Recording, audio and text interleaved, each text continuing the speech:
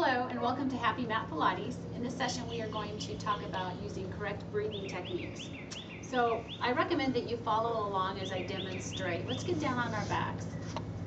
One thing about Pilates is that with all the various movements you want to try to maximize your ability to breathe effectively and so that means using your entire capacity to breathe. Now, a lot of people, and this may be you, you tend to belly breathe, and that's where you take your breath in and out of your belly. And you can try this yourself as you lift up your breath, belly when you take a breath in, and then as you exhale, your belly goes down. So basically, your belly is going up and down.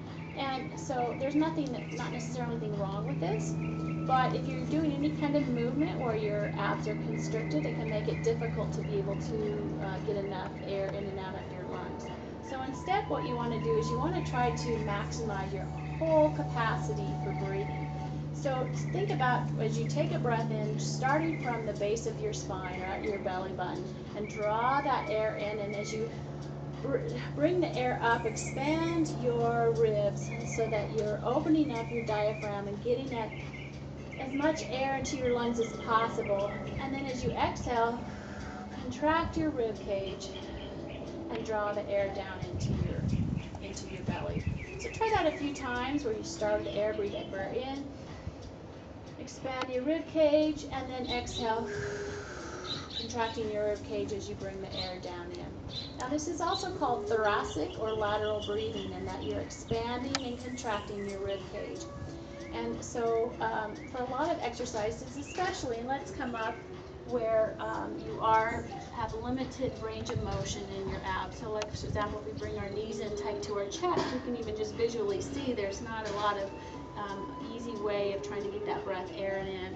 And so that's where you can then focus on expanding your rib cage and crack, contracting it. And so at least you're getting more likely getting the, the air in and out of your lungs. Now, um, this can be effective in Pilates, of course, and many other exercises as well.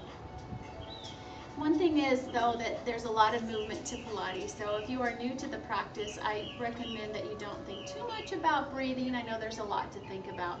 What's most important is that you keep breathing, and um, so you're, you're oxygenating that blood stream and um, uh, be able to have a more effective, uh, efficient workout.